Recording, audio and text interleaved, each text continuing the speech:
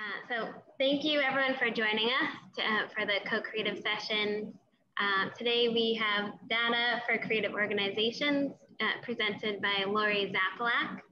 Uh, so we're discussing using data to understand project context, measure engagement, and assess impact. Co-creative sessions is a free and accessible online series geared to enrich, educate, and connect creatives through a series of workshops and training sessions.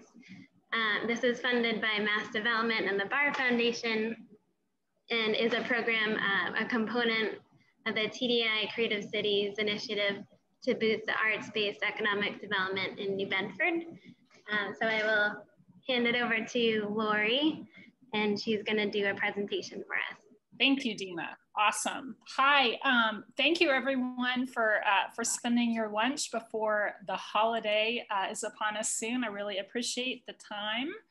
And today, as Nina said, we're going to talk about data. Um, I'm going to start off with a few definitions and then touch on um, some key concepts with uh, some examples and a, a small case study before opening it up to questions. Um, and I want to acknowledge um, I actually didn't take a statistics class until I was 36 years old.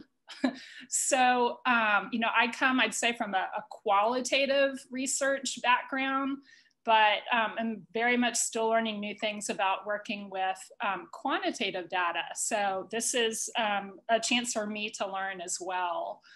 Um, yeah, so as I mentioned, um, just going to start off with a few, a few baseline examples. Some of this may be familiar territory to some of you all, um, and then go through um, a good bit about descriptive statistics and sources for these. Um, there's many more sources out there for you to take advantage of. Um, uh, and some really interesting things. We'll talk about research design, actually re refining your research question, uh, collecting and mapping data. There's some amazing tools there. Um, using data or pulling data across platforms and social media analytics just a bit, and then integrating data into storytelling. Um, so to begin with, just the difference between data and information. Um, if any of you as a kid read the book Swimmy by Leo Lionni, I think this is a good illustration. If you think of data as the individual bits or the individual fish, uh, in, in what becomes this larger fish, information is a collection of data um, that, that has meaning because we either categorize it or um, we see a larger pattern or we see outliers like Swimmy, who, who serves as the eyeball of this um, invented larger fish.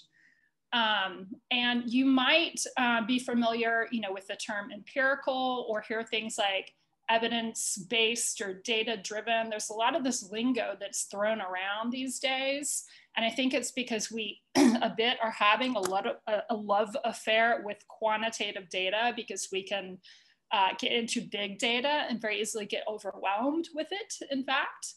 Um, but I would also assert that good qualitative research, which allows us to really develop rich or thick descriptions of, of events or to understand deeply why someone chose to do what they did, their motivations, um, is really valuable as well. Um, and a lot of uh, great research actually represents um, combining those two methods. So what gets called mixed methods, where you're combining both qualitative and quantitative approaches. So for instance, you'll see samples that might include multiple choice questions or sliding scales, um, but then they'll also have open-ended pardon me, open-ended questions where um, the person can elaborate, you know, and sometimes that's the most helpful because you get it in the context of that other quantitative data. Um, and when we do talk about collecting data and trying to understand trends, usually we're not, uh, for instance, surveying an entire population. We're just trying to get a representative sample. And so, you know, this is um, fun and tricky and interesting because the samples are not always representative, even if we try really well to, um, to, to, to seek out that representation. So it's always interesting to be aware, like if you've done interviews or if you've um, done a survey, you know, that question of, well, who did we not reach? Um, so that you can think about that for the next time. Um, but but the goal is that by taking a sample of the population, it's it's efficient and it's representative, so that you can uh, reach some broader conclusions about what's going on in, in, in the population that you're studying. So whether that's New Bedford or um, everyone that you sent a, a flyer out to, or um, if you do a survey of individuals who come into to your museum, you know, this idea that you're getting glimpses into um, the experience or the event that, that they've experienced. So this idea that an individual fish essentially here represents data, but by collecting and combining and coding, you know, that's when you start to derive the information from the data but we, we often say data driven, data this, but we're really talking about information and ultimately insight or, or, or, knowledge that we're trying to get to. And then, and then this is what I was um, referring to when talking about a sample of a population that you're not, you're, you're, unless you're dealing with a very small population, you're usually not um, interviewing or or uh, delivering or getting a survey from everyone in the population, but the goal is to get a good representative sample when you're doing that type of research. And then just transitioning to this idea of different types of, of quantitative research. Um, when when um, we do uh, collect information, um, one of the things we often do is develop statistics to report in a really efficient way about um, whether it's a community or how many people participated. And um, so I want to mention that there are some, and this is an, pardon me, an infographic from Esri Business Analyst, which is a paid subscription. Um, but for those of you who have a university affiliation, it may be something you have access to. That's actually a key theme in all this. I'll come back to that later. Um, but it also shows that, you know, this is just a snapshot of New Bedford um, in terms of some key summary statistics. And I think something else that this emphasizes is when you can take quantitative data but make it visual and an infographic, it's often a lot easier for people to absorb and also remember. So that's important too. Um, and something that we're seeing, so this is another, another format um, uh, from Esri, information that's available. And here I bring this up because I know many of you are concerned with, well, what are the characteristics of the um, you know of the population of the south coast for instance you know those people who are in your your kind of immediate market that might come to your event or your organization so there are things like records of or um, pardon me statistics on they're not they're not full records but um, information about spending habits by um, by community and so this is important when you're thinking about how to reach out and convey your value to a particular group. And then what we're seeing more and more of is this move into um, not just demographic data, but also um, socioeconomic data. So in this, in the lower right here, you see this thing that says tapestry segments. And what Esri has done, I'm just gonna bring another two or three slides on this so you can see is they've actually mapped every neighborhood in the United States and they've taken data from the census and data from other sources to look at some of these broader, um, not, not only um, age, representation, race, but also income, education level, to kind of to categorize characteristics into what they call these segments or, or life modes. And um, it is not perfect by any means but it does start to, it gives you something to have a conversation around in terms of people that you might be seeing who come to your events and kind of what are their characteristics and what are their you know what are their interests. And and and i think this this stuff is really interesting to see like does it actually match up with what you're seeing um, what you're observing? So this is the broad map of the us that they did um, and by which they derived this tapestry segmentation they actually um, they they included the variable of income and you you do see that you know you can talk about income you see a lot of that orange and the the um, uh, in new england which correlates with affluence which is really interesting when you look across the united states uh, as well as age. I'm just kind of looking at this in brief. And then this is their um, uh, their broader code and so you'll see not just characteristics at the kind of the broad level, but some of these sub levels. And so it starts to get really interesting in terms of um, are you engaging people that that are kind of known to be supporters of arts and culture, or are you trying to reach out to people who are coming to, to the South Coast because they like beach vacations and they're on their way to Cape Cod? You know, so some of this information can kind of be helpful for um, for thinking about your communication with the people you're trying to reach. And I think it also forces us to look beyond like just saying we're trying to reach everybody and to really focus in on how do we connect with different groups, especially groups that we might not have been pardon me, successful in connecting with in the past. So um, in addition to, to that set of information, I also just want to remind you there's a little bit of, um, you know, you can always go to Wikipedia for a kind of the quick down and dirty for some key statistics. And if you do that, I'd recommend not just citing what Wikipedia says, but go to whatever is cited there. So like go to the footnotes, um, the US Census information is all available online. And then there's some other great subscriptions um, like Social Explorer through which you can get it really easily.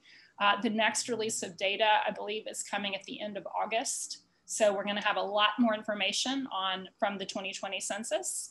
And then for those of you who do have um, a connection with UMass Dartmouth, um, there's some amazing, or any other university, some amazing resources that you can tap um, to, and it's everything from you might be trying to use data to learn just even more about a location, you know, your own your own building. Um, but also there are resources like Mintel. You can also go to mintel.com for some free content and it's global market research. So um, it's, it's really amazing. And then a lot of location data um, is available. The, the industry lead is, is Esri, ArcGIS, and Business Analyst, but you do have to pay to use that um, or, or go through a university subscription is what I'd say is a really good way to go if you've got a, a partner. Um, this, for instance, is uh, from Mintel's Global Consumer Trends report that they did for 2021. Um, and I bring this up because I read it and I was like, that's really interesting. I relate to this. You know, I relate to this kind of health, health undefined concept. And the report dives into each of these themes much, you know, much more deeply. But so, for instance, if you're thinking about uh, your social media campaign and you're like, oh my gosh, what are we going to do next? Or how do we make this this exhibit kind of tie into what else is going on in the world. You know, resources like this, I think, are great. Um, and this is a free report. Um, they also did a report on, uh, on trends in ice cream this year, which I think would be fun to read. Um, so beyond uh, descriptive data, I think, you know, this question of what are you really trying to get at? You know, I think just describing uh, um, like putting your work in context or really understanding the demographic characteristics of New Bedford, some of that is really helpful if you're trying to argue for funding, for instance, and reaching new audiences. You all probably know this already. Um, but when you're thinking about, um, you know, engaging the visitor or the consumer, you know, just having good, accurate counts of, you know, how many people attended, um, who attended, can you categorize them? Uh, did they enjoy the program? You know, how much? You know, some of those things can be really helpful. Um, but you might also be looking for broader um, questions about causation, you know, which is the why did they attend? Um, and that's really important information. Sometimes it can be hard to get at. Um, and so it's also critical to think about that that's that may not just be one question. You know, it may be how did they know about the event, but then also what motivated them to attend.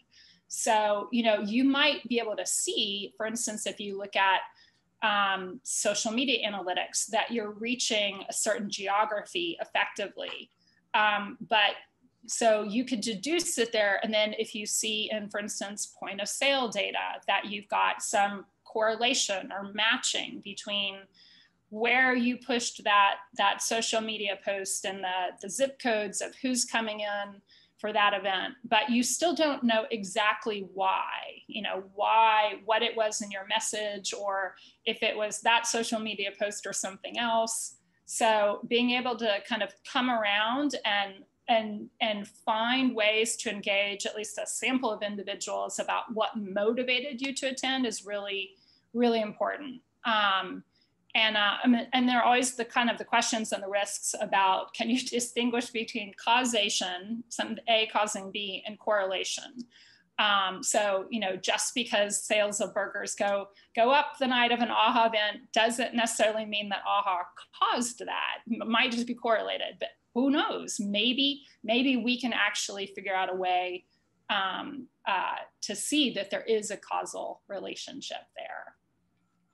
Um, so then I'm going to shift gears a bit and, and chat briefly about collecting and mapping data, because this is also something that, that we're seeing more and more. And I'm going to give you a couple of rules of thumb. Um, one is uh, most of you probably have some type of customer relationship management program, or maybe even an Excel program with your, your membership list or a mailing list. Um, if you have that, that's a great starting point for actually being able to spatialize that data. And um, so just some basic rules of thumb to do that efficiently is um, one, do use some type of spreadsheet or database program. And two, to think in advance kind of the design of that to, so that you are actually setting up things that you might want to categorize, like distinct cells of information. Um, and in doing that, you want to aim for consistency, use drop-down lists if possible. If you're, if you're aiming to analyze and categorize that data, um, that'll save you a lot of uh, scrubbing in the end. Um, and then particularly around addresses, I really recommend using complete information from the outset. Um, and that means having a different field for address, the street address, the number, the city, the state, and the zip because then if you do want to um, put that into a mapping program, whether that's Google Maps or, or um, an ArcGIS program, it's gonna make it a, a whole lot quicker.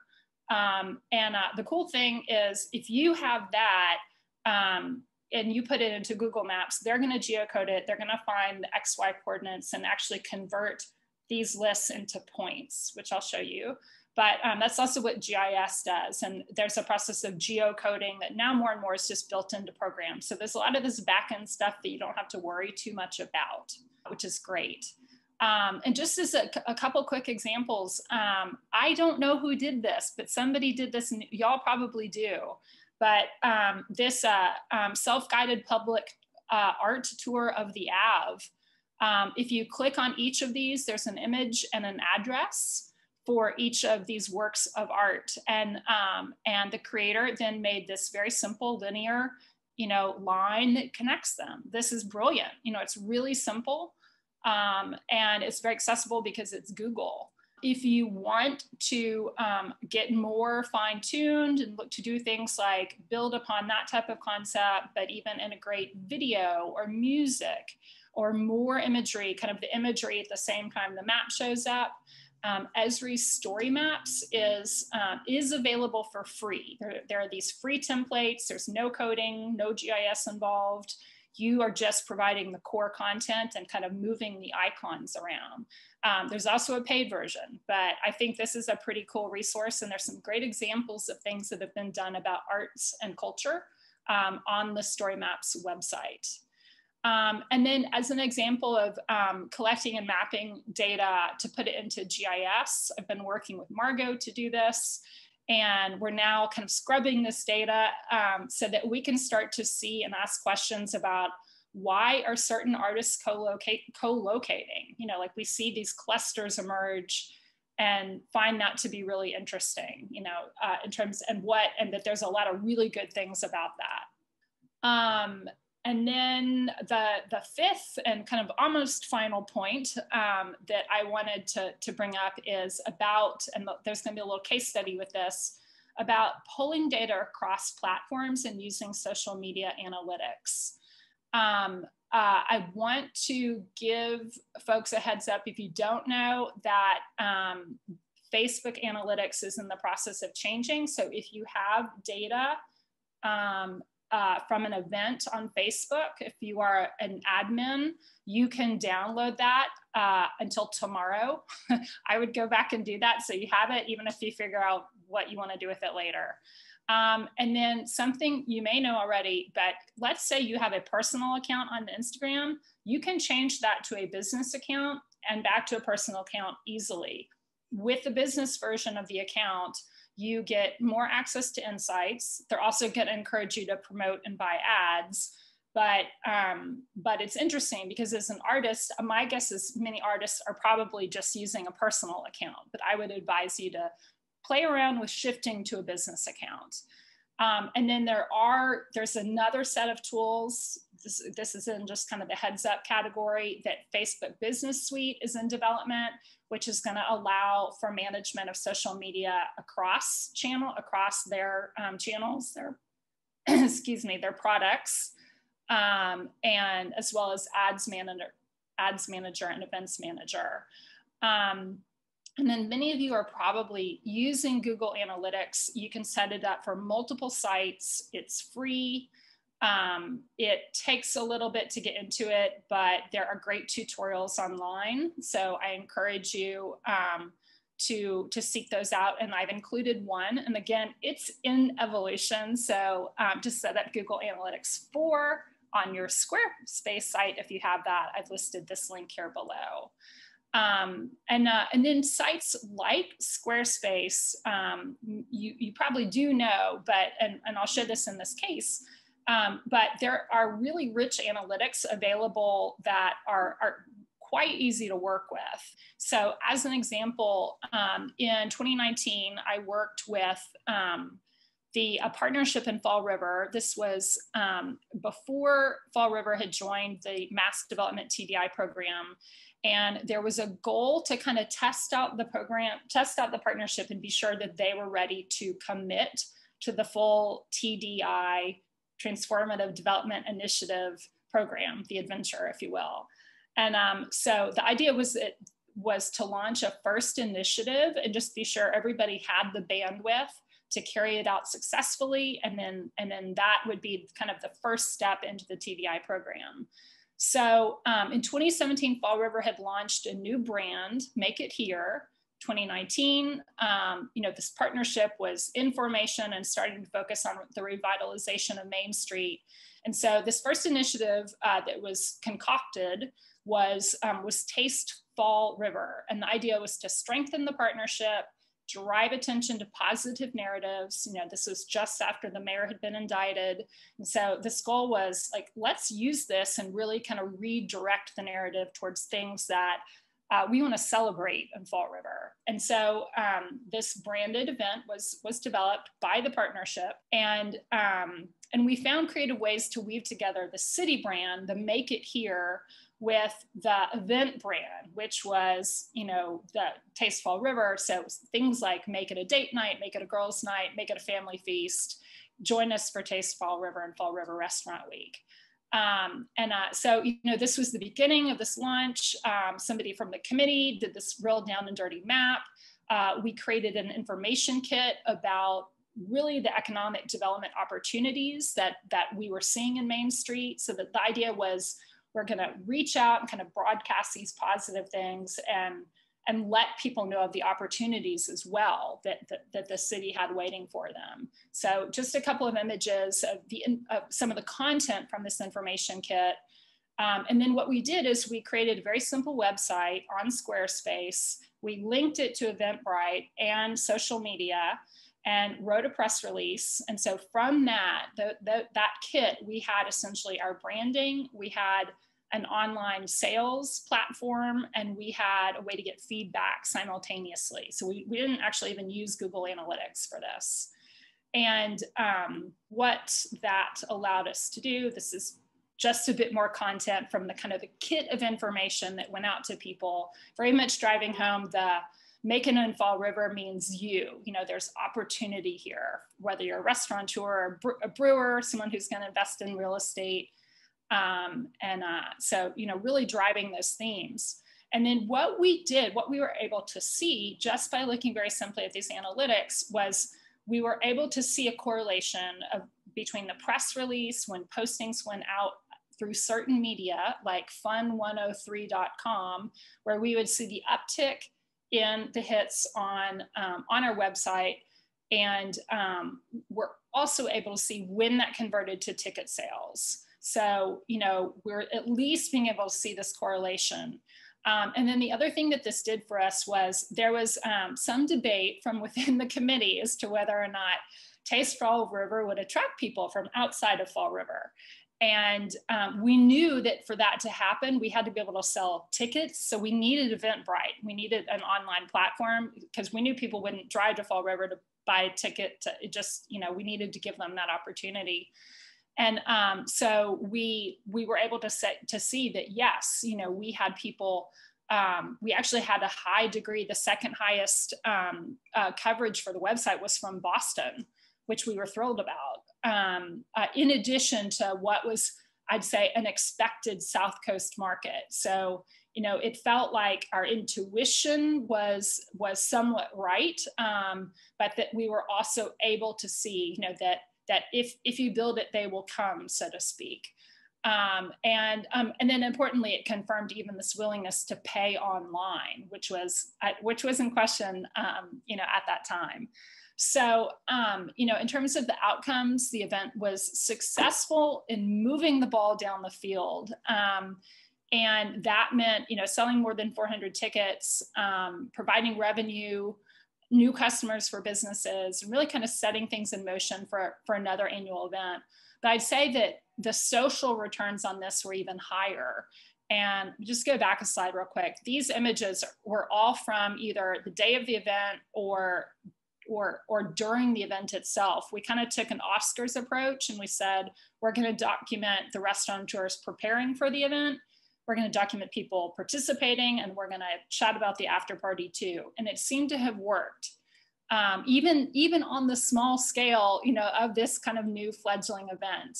Um, and so these were also different types of, of feedback or data that we were able to look at. You know, what was the type of response we were getting to the images during the event, for instance? And I'd say one of the one of the lessons that we learned is the the um, the marketing before the event had really focused on pictures of beautiful food, but there's a difference between pictures of beautiful food and pictures of people enjoying beautiful food. So that was one lesson learned. Don't forget the people.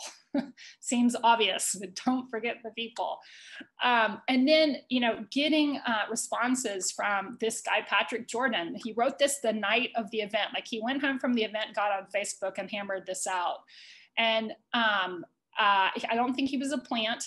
Um, and, you know, just expressing like his, you know, his pride and his enjoyment and seeing, seeing the city in a new lens. And so, you know, this is, uh, it's one data point, but it correlates with um, and respond, it kind of fits in with the other response that, that the event received. Um, so it was great to have it. Um, and I'd say one of the other things that we did that was really critical is we actually immediately after the event surveyed or, or rather did kind of a, a semi-structured interview with restaurateurs to ask them about their experiences. And that was just critical, both in hearing the positive responses, but also what could be done better.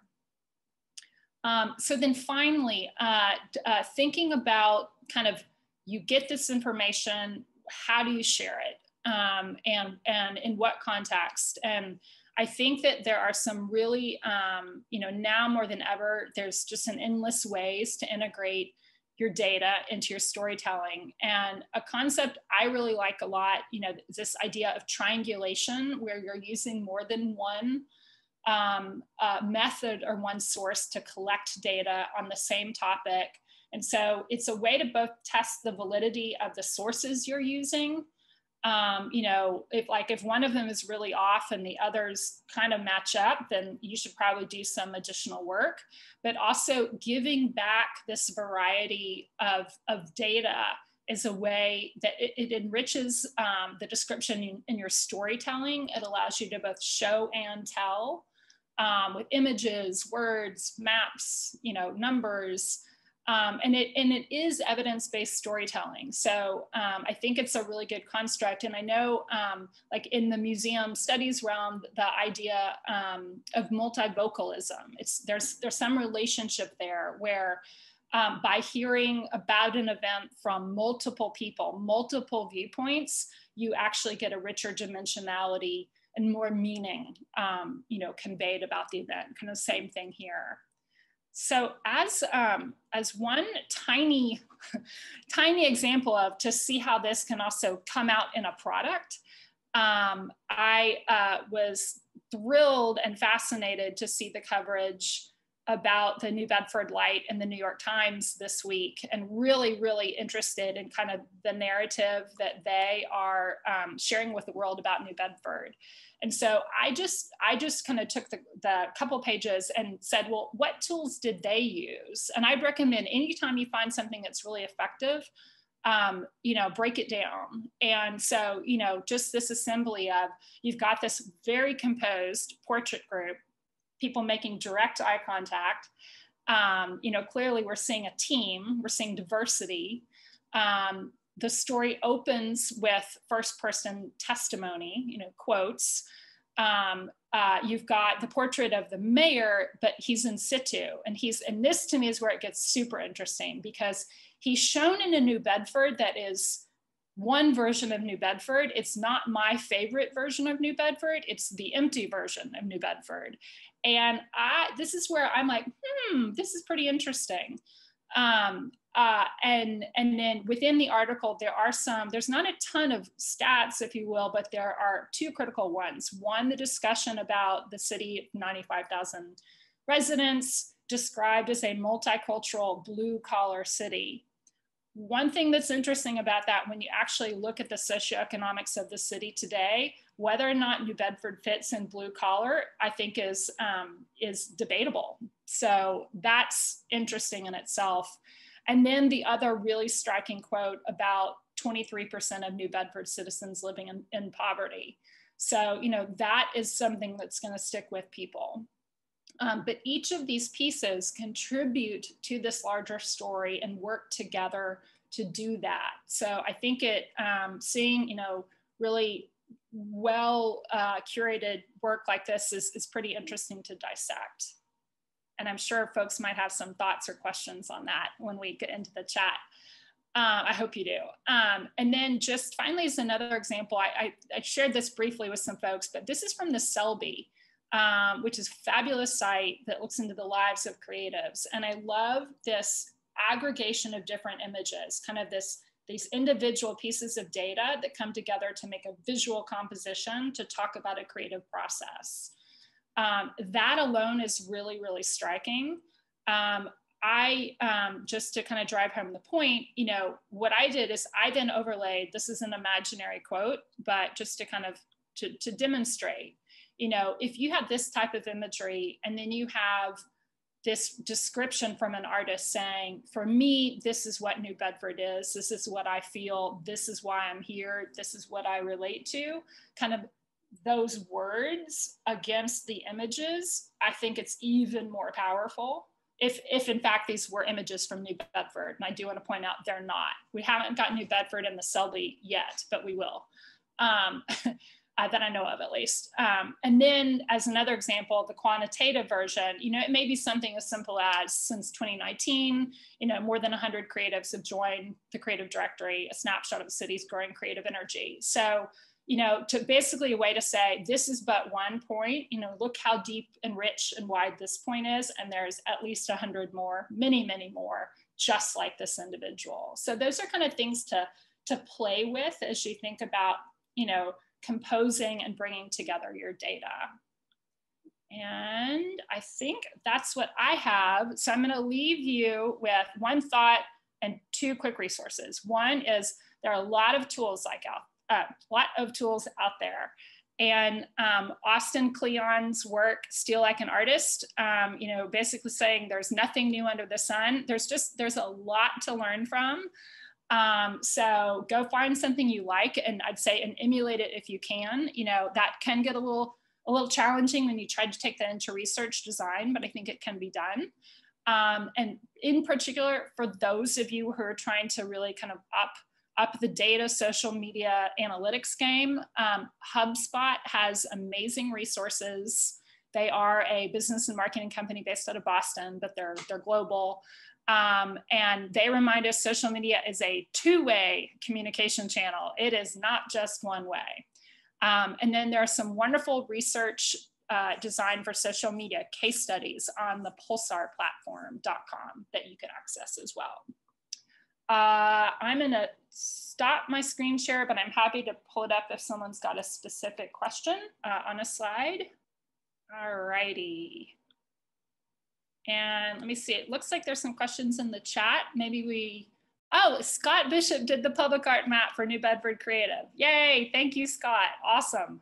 Everybody who's coming into the lunch, because this is kind of the lunchroom, because we're all back. This is our first day. Everybody's back in the office. Everybody's like, oh, hey, what do you, that sounds really interesting. Can I have those slides? What, what, what, yeah? And I think, yeah, no, and the footnotes and the slides and everything. That was fabulous, fabulous. Um, so I, my one question, because I'm always, I'm always in this movie, um, sort of saying, the Fall River study for Fall River Eats or whatever that was. Fall River, yep, yep. Yeah, Eat Fall River. Um, a it started earlier because they used to do it um like ten years earlier.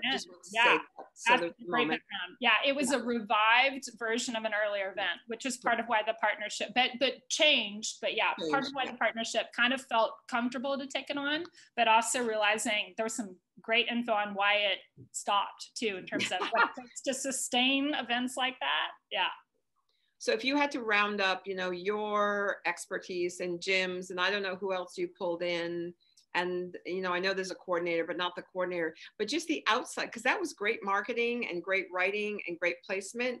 Can you kind of say, in order for any small event to do this, it would cost you another thirty thousand dollars in expertise, or twenty thousand, or do you yeah. have a vision of that? I do. That's about right. So the event cost, the direct cost was uh, it's either 20 between 20 and 25. The, the event actually made money the first mm. year. Um, mm. Some and some of that was in kind also given, but um, but you know there are uh, we did have to do a little bit of tap dancing to be sure that we could mm. get even Squarespace is relatively easy to use, but you still have to the person putting the content in either you know you've got to workflow that so that you're either going to be the content creator also doing the input or you have to figure out how to put your team together so that you can give someone something that they can then just get up on the site. But okay. that that you know y'all are so great at collaborating that yeah.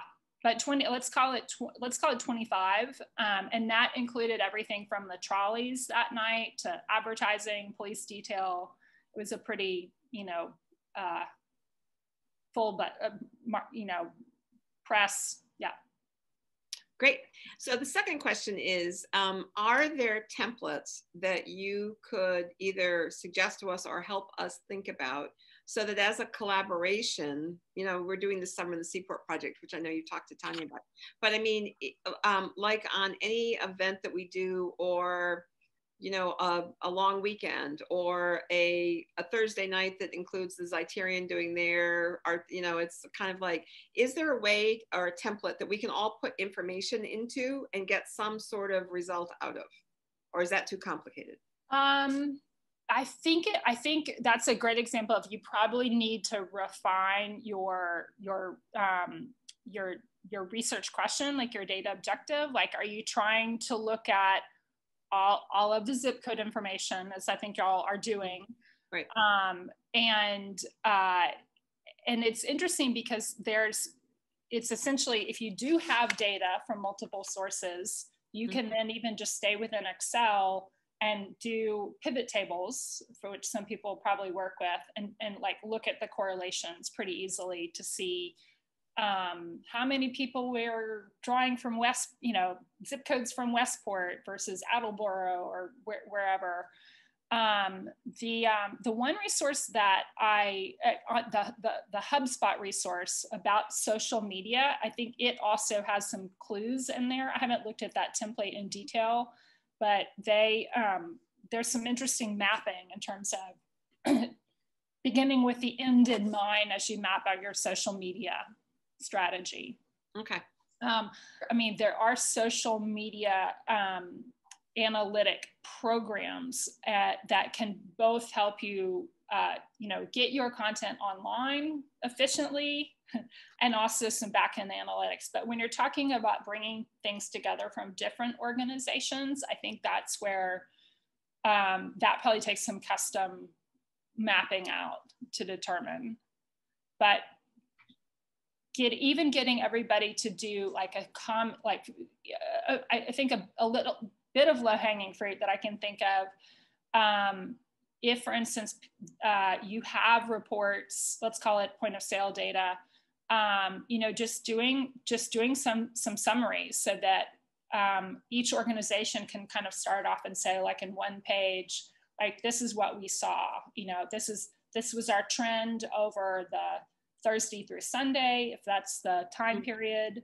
Um, and and I, I think the discussion is actually might need to proceed then figuring out what the next step is of putting it together just so that you could see in a more robust way um, so for instance or or if um, uh, there are you know to get to the bottom of was it fun 107 or was it instagram that was really driving people to the event or is it friends and family so if you don't quite, I mean, zip code is a neutral, value free kind of thing.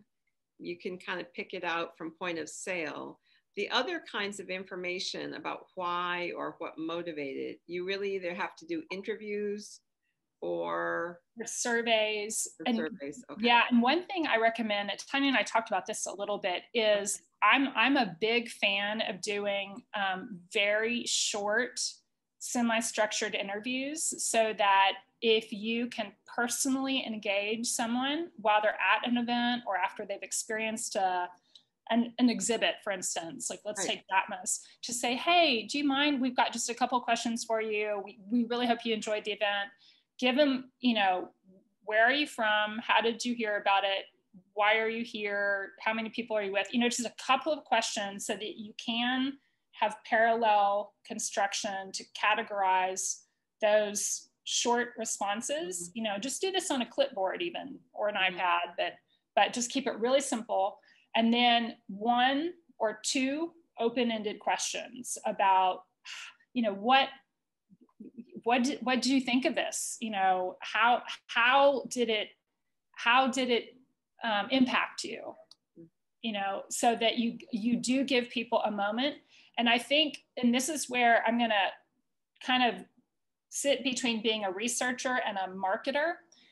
In my mind, this is your opportunity to make the personal connection with mm. the visitor. And if they then say, oh, you know, we are on our way to the Cape, or we're taking our kids to look at colleges, or we just live in the next town, we need a fun day trip, then you then that's your chance to also say oh well you should stay and have a burger or whatever it is you you know to do get them one step further in.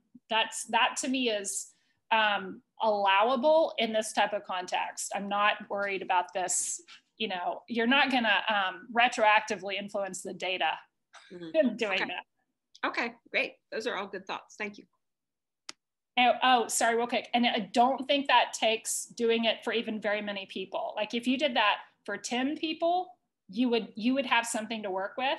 If you could get it for a major event for 30 people, you would have plenty. Like that's that is a full full set of data to work with. That's a good that just numerically that ends up being a good sample for a wide range of things. So if you're sampling like that, do you have do you have to say, okay, I'm going to ask every other person, or do you just ask 10 people who look friendly? So that see this this is when we get into the the quagmire that is the potential bias or um, just who will give you time. Um, I think you should be aware as the person, the question asker, that you're trying to reach a range of people. And um, not everyone's going to say yes. You know, some people don't want to do it. Um, but uh, you just have a positive energy. And um, I think you'll be surprised, especially in this time, what people will share with you. I'm going to jump in with just a, um, a comment. Am I on? Can you? Okay. Yeah. yeah. Um, I've done a lot of research, and you know, um, actually, um, my graduate degree is in program evaluation. So, um, but um, one of the things that I find a lot is that people ask ambiguous questions, and you cannot interpret ambiguous questions answers. Um, so you have to be very careful. Like one of the most um, thing thing that I teach people most is read your questions um, and see if there's a, another way to interpret it than the way you meant. Yes. Um, particularly about time. Uh, people ask questions and the respondent can think, do they mean now? Do they mean before? Do they mean in the future? Um, if that's possible, you wrote the question wrong. Um, there's lots of other things along those lines, but there are some basics like that where you say, no, I can't, if I can only interpret the question one way, then I know what the, that the answers mean something. If I can come up with a second interpretation, my answers are meaningless. Yeah, that, that's great, great feedback. I think for those things that are discrete, you you also want people to be able to answer them quickly. Like it sh shouldn't take heavy lifting. Um, often, if you uh, you develop a question set and then um, go ask, go get a colleague and pretend like they're the visitor and have them go through it with you. Um, that usually will just help you fine tune. Yeah.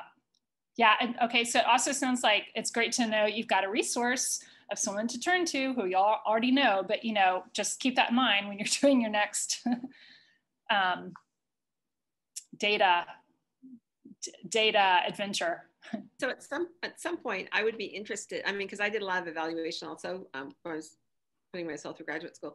Um, dan i think it would be really interesting to think about um, training three or four people um, as volunteers so we all have the same understanding or the same whatever and yeah. say you know would you commit to looking at one event a month?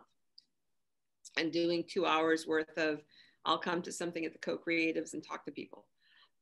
Because yeah, I, I, think you mean, as, really you mean as interviewers? Yeah, as interviews, because one of the mm-hmm. things we're having trouble right now with like the summer in the city uh, seaport stuff is um, thinking about okay, if we've got this event, who, who are the interviewers, and do they all, you know, you can get students, which is great, but um, is there a training set? Or are there a bunch of people like us who are really interested and at some point invested in who's coming downtown and who's participating and we would each give uh, you know two or three hours or one one night every two months. And you know if you if you looked at six events and you got six people looking at six events or six people you know you'd get a fairly good to laurie's point a fairly good um, data set um, quickly. And then we could actually have something to talk about when we start our next rounds. I think that would i would i'd be happy to um, both be trained and to, to talk to people about some events, not my own, but some other people's events. Mm-hmm. There might be there might be um, you know some classes. There used to be um, at SMU. There used to be research classes that you could get to to join you out in the field.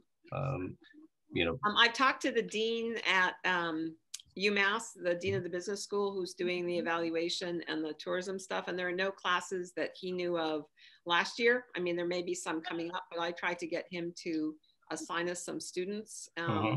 Yeah. And he helped us write a questionnaire. So I'm, I'm kind of on that sense, but I also think that those of us who are working downtown mm-hmm. are going to be the most reliable sources of come on Tuesday. Can you spend two hours with me on Tuesday talking to five people?